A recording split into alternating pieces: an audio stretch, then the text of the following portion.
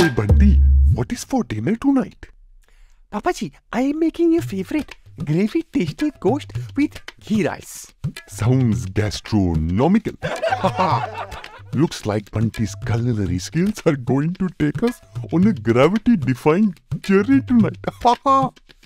Speaking of gravy, I mean gravity, why did Reddy the physicist fell off the ladder?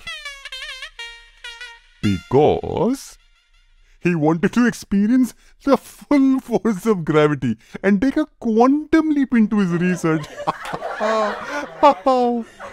and speaking of gravity, have you ever wondered why astronauts are so calm and collected in space?